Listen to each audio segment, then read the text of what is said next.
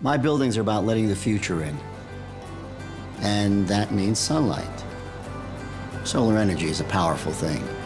It's better for the environment and for business. My bank gets it. Solar lending, now at Beneficial.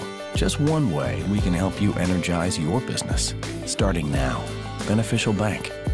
It's my kind of weather.